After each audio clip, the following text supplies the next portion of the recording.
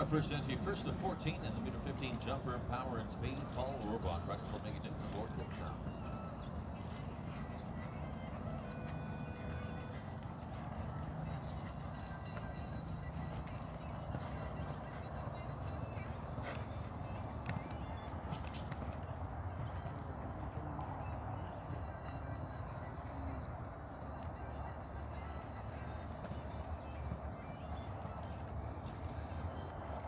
Double clear on the first card with a speed time of 39.365.